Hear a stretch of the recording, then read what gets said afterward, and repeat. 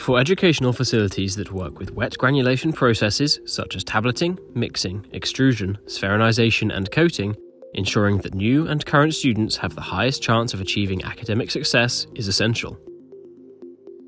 With new students entering the laboratory each year, keeping the practical side of creating wet granulation products as simple as possible allows your students to remain focused on their formulation and studies, whilst smaller batch sizes prevent large amounts of material waste and keep experiment preparation time low so that students can spend more time completing experiments instead of setting them up. For these reasons, universities around the world have been choosing Caleva processing equipment for over 50 years. PhD students find the equipment straightforward and easy to use, allowing them to rapidly get to grips with the processing methods used in real world laboratories, such as mixing, extrusion, spheronization, tablet and pellet coating, and wet granulation rheology. Each machine requires little to no tools to assemble or disassemble, making each contact part easy to access and clean, resulting in minimal downtime between experiments.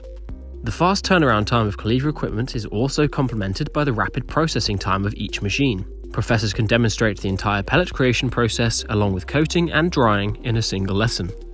On top of this, small batch sizes and a small benchtop footprint allow Caleva lab equipment to both reduce material waste and save space on laboratory benchtops. With a wide range of industry applications, Caleva equipment has been used in over 1,300 white papers listed on Google Scholar, and is a welcome addition to most laboratories that work, research, and teach in the formulation development sector.